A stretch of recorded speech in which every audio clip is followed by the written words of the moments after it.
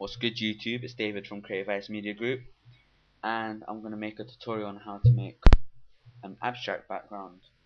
I've made one in the past and kind of enjoy making them as you can make them as your computer background image etc.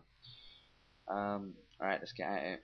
Go file new and you can make it really any size you want but I'm going to make mine 1280 by 720 alright and you're going to want to make the background black.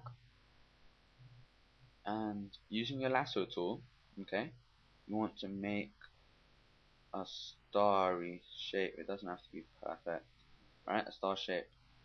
And fill it in with white. Press ctrl D to deselect. And you have this shape with you now. And what you want to do is go filter blur radial blur. And you want to do amount 100 zoom best. Press OK. Wait for that to load up. Alright. Then you want to do it again. So go filter. But this time it will be right at the top. Click that.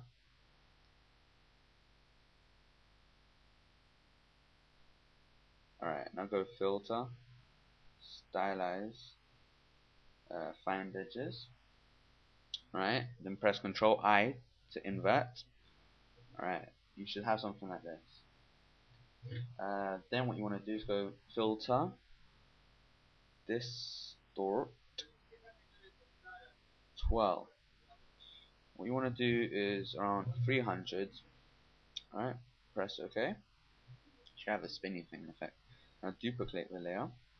Alright, you go filter,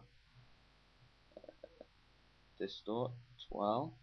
This time you want to do minus 600 so it would be minus 300 in the back because we just made 300 alright? Then you want to change whilst being on the top there you want to change it to lighten or screen whichever one you want. I'm going to go with screen. Alright? Then click on both layers by pressing control holding whilst holding control click on both layers and merge layers. Alright? Duplicate the layer again change the mode to lighten and edit transform vertical. Alright? There we have it. This is going to be our effect our abstract background. Merge layers. Make a new layer.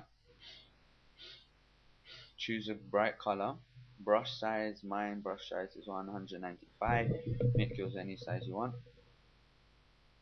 And color in and then change it to color. The blend mode to color. Make a new layer again. Change your color. I'm gonna have a yellow. Alright. Now because the yellow is a bit over the red we're gonna change the blend mode to overlay. Alright. Once again new layer. I'm gonna have a nice bluey. and color in again color and just keep going on.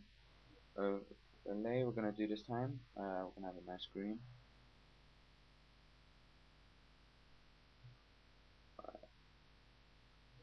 And overlay and there you have it guys. This is how you make a really quick cool abstract background.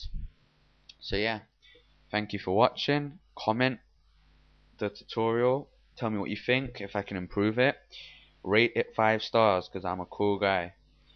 Uh, what else is there? Favorite?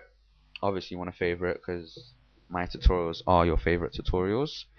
And make a video response of what uh, make a video response sorry of how you made yours and why the hell does a warning screen always happen when I do a tutorial?